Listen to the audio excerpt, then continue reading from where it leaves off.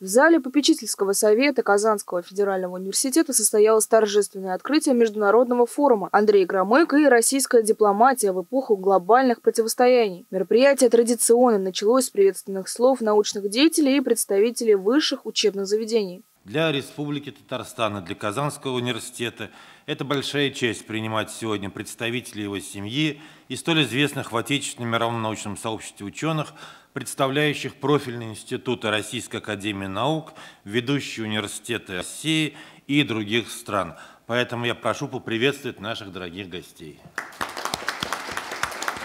Директор Института Европы Российской Академии Наук Алексей Громыко в свою очередь отметил, что такого рода встречи, безусловно, важны как для молодежи, так и для уже умудренных опытом специалистов. В первую очередь для того, чтобы слышать мнения, обмениваться опытом и идеями касательно важнейшего аспекта современных международных отношений. Отметим, что мероприятие также посвящено популяризации историко-политического наследия выдающегося советского дипломата, министра иностранных дел СССР Андрея Андреевича Громыка, чьим потомком является сопредседатель председатель форума Алексей Громыко. Позитивные результаты усилий Андрея Громыко, направленные на поддержание глобальной системы безопасности, особенно актуальны в современную эпоху больших противоречий и требуют, конечно же, глубокого и системного анализа. Опыт важен, и в истории второй половины 20 века было много а, моментов, а, которые в чем-то были близки к тому, что происходит и в 21 веке. Например, вот сейчас мы встречаемся в дни, когда 60 лет